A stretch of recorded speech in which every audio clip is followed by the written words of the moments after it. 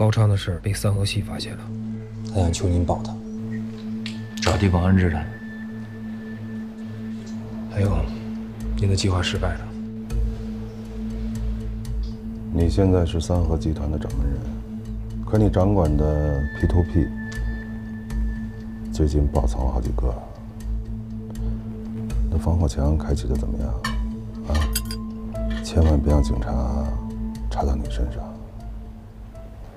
我们在张华的手机上发现了一个隐藏号码的通话，按照时间推算，他的通话记录是在和您通话之前，也就是说，很有可能在出现车祸之前，张华已经把硬盘交给了别人，或者是做了某种交易。